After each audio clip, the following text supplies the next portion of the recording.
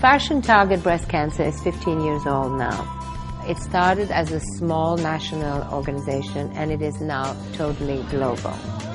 My aunt actually suffered for 10 years from breast cancer. She died at 52, so I have an emotional attachment to this. Nina Hyde, who was a very important fashion journalist from the Washington Post, got breast cancer and unfortunately she passed away.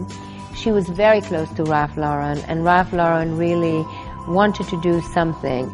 Ralph did a special polo shirt which uh, is such an iconic product for Ralph Lauren. We hope, uh, but I think we will raise about a million dollars.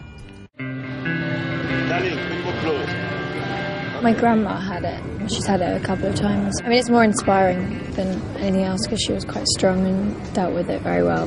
It's a big modern problem, so it's nice to do anything you can, you know, to help raise that awareness. For us, the CFDA was a natural thing to do. For Ralph Lauren, it was about a friend and a journalist that he missed.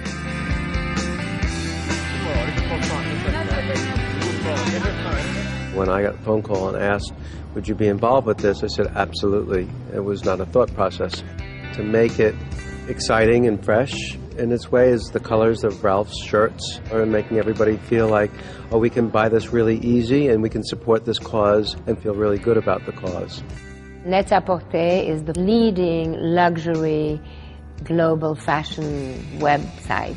And so when Natalie came to us and said she wanted to be involved, we just thought it was very appropriate to do it with them. So by going on netaporter.com and um, supporting Fashion Targets Breast Cancer worldwide, it's a simple way to make a big difference.